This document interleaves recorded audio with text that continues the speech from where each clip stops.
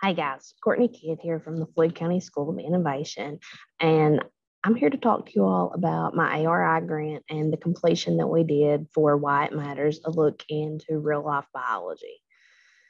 So real quick, just kind of the general idea of what I'm going to be talking to you all about today. This is the basic idea and the premise for the start to finish for this project. This was something that we were able to see from complete utilization um, with the exception of a couple of items that we had purchased that are still back ordered, but a ton of grant and action work to talk to you all about. This is one I'm actually pretty excited about. Um, the, oh, I'm sorry. The big idea behind this grant was to actually get us the funding so we could enhance some of our regular courses. Um, being a CTE school, a lot of times we only think that people are focusing on those career and technical pathway courses. But one big point of emphasis for us is aside from looking at just the career prep, we're also prepping students for their regular graduation requirements. We're prepping students for college if need be. It gives them that exploratory time. So, one intentional thing that we are doing with content here at the School of Innovation is we're working to build confidence in areas so students can make connections between material that's going to better suit them when they go into like future classrooms or future jobs. So with this, um, what I used the grant funding for was to actually purchase quite a few lab sets where we were looking at like live organisms, like you'll see on there, it says studying the heart rate of Daphnia. Um, coroner's reports activities where biology students could do like urine and blood analysis. Um, the unknown substance labs are the ones that I was making reference to of still being on back order. Full intention to use those. Um, but the company we used, Flinn, those are just out of stock right now. They're telling me that I can expect them in the next month. Um, and also some forensic aspects like ink inspection, fiber inspection, things that I could actually collaborate and team up with our healthcare and our law enforcement teachers and actually give those students that accessibility to talk about, you know, well, why does biology matter? Why does understanding health matter? It gives them that ability to see the real life attachment. Um, throughout the activities with this, we were looking more on, more at a um, direct connection with the students with the material um, for them to make those connections to see why things are important rather than just sitting sitting at Okay, we've heard that phrase a million times. We don't want the kids to sit and get anymore. We want them to actually engage with the content. We want them to work with the content. We want them to branch out and realize what opportunities are actually available. So many times I've heard those random comments from students about, well, the only thing that I can do is go into healthcare education. There's really nothing else around here having a school and having classes that focus on career exploration for these kids can open a ton of doors. And by opening these doors to forensic science and opening these doors to different aspects of like medical and biomedical engineering, that's what this grant actually appeals to is that emotional reach and that attachment to what is possible.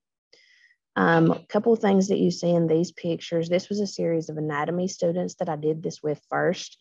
Um, we did kind of like a CSI activity throughout using some of these resources. So instead of just, all right, learning anatomy planes and then actually learning and reciting words for different types of bones, it was more of an application process to where they were looking at anatomical directions for injuries that a person may have from an autopsy. That's actually the one you see in those two left pictures. And then on the right, discovering bones from a crime scene. How do we use those in science? It's not just an important attachment to learn the name of something, but how is it actually something applicable that's going to carry forward in life? Um, another portion that we use some of the grant monies for in this, we did look and talk about like bacterial and viral infections. Um, you can actually see a picture there in the middle of me talking to the students about plating bacteria and how to isolate colonies. Um, and we made that connection to the material in this left picture with talking about Glo Germ, like on their hands, like proper hand washing techniques. What happens when doctors don't scrub in properly? Um, and we actually use those in conjunction with an activity, a pumpkinectomy. Um, I partnered with our agriculture teacher and our healthcare teacher, and we took this activity from start to finish, kind of like from a surgical perspective, all the way through the possible infections and then the agricultural purposes that could have led to having those infections. And you can see one of the young ladies there using the microscope when we were doing the pathology part of this.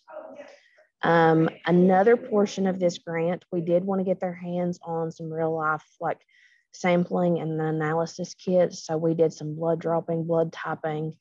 Um, we also did some analysis for different chemicals, looking from sugar testing to protein testing um, some soil sampling, but you can actually see them engaged not only in an individual setting, but in different aspects of classes, some in biology, some in an after school program, some in an AP class. So you actually see that that was partaking and it was cross curricular and reaching across our school. Um, assessment with this, again, the big thing for me um, that I take away from it. There is a lot of collaboration to give them that real life aspect. But the biggest thing is sustainability. Okay. I understand that a lot of these materials are consumables, but at the same time, I realize that a lot of them aren't.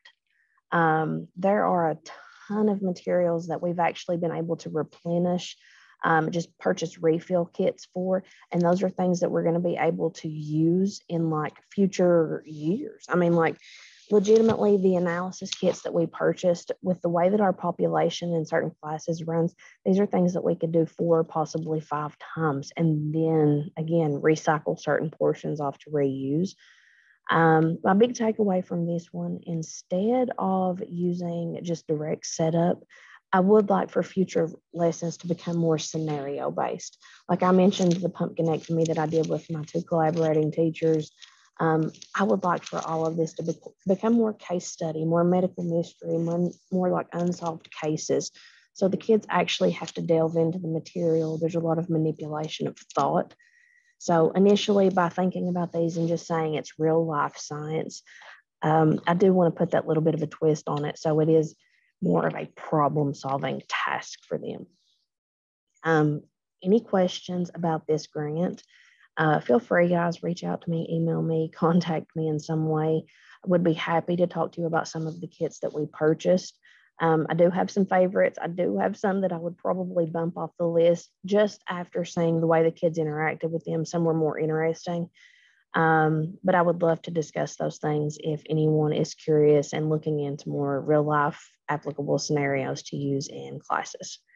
Uh, thank you for your time, and I hope you enjoyed the grant. Thank you.